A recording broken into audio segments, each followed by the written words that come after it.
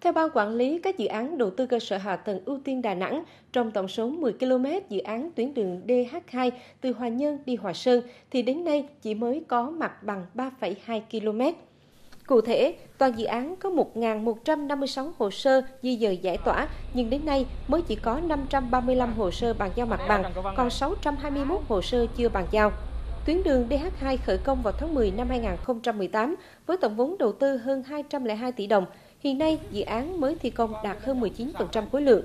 Do vướng mặt bằng nên việc thi công chậm tiến độ và thành phố đã gia hạn phải hoàn thành vào tháng 6 năm 2021, trễ một năm so với dự kiến ban đầu.